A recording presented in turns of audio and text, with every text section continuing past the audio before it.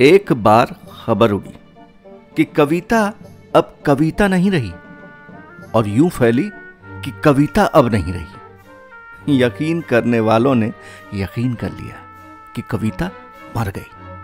लेकिन शक करने वालों ने शक किया कि ऐसा हो ही नहीं सकता और इस तरह बच गई कविता की जान। ऐसा पहली बार नहीं हुआ कि यकीनों की जल्दबाजी से महज एक शक ने बचा लिया हो किसी बेगुनाह को।